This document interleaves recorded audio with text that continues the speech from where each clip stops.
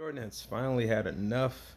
And I quote Jordan said, We have had enough. The link for this article will be in the description. So, according to TMZ Sports, Michael Jordan, Jordan Brand, donating a whopping 100 million to racial equality orgs. Now, Michael Jordan and Jordan Brand has pledged to donate an incredible 100 million over the next decade to fight racial inequality. Now, saying straight up, Black Lives Matter. The Jordan Brand is us, the black community, and Jordan and his company said in a joint statement Jordan Brand is more than one man. It has always been a family. We represent a proud family that has overcome obstacles, fought against discrimination in communities while worldwide, and that works every day to erase the stain of racism and the damage of injustice. The will, the work, the excellence. The world has come to know is a result of one generation after another pouring their dreams into the next. Now, the statement continues it's 2020 and our family now includes anyone who aspires to our way of life. Yet, as much as things have changed, the worst remains the same Black Lives Matter.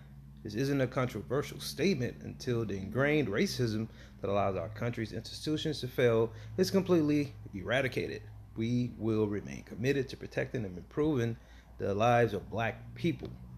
Now, today we're announcing that Michael Jordan and Jordan Brand would be donating 100 million over the next 10 years to organizations dedicated to ensuring racial equality, social justice, and greater access to education. Jordan recently spoke out over George Floyd's death, saying, I see and I feel everyone's pain, outrage, and frustration.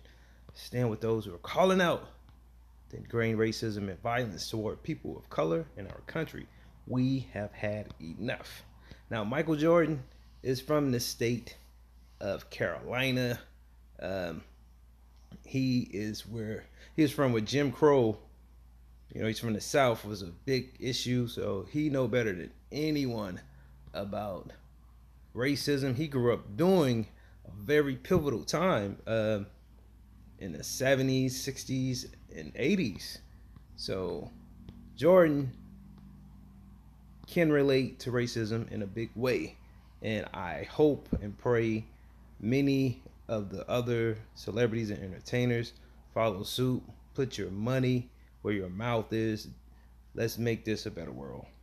Subscribe.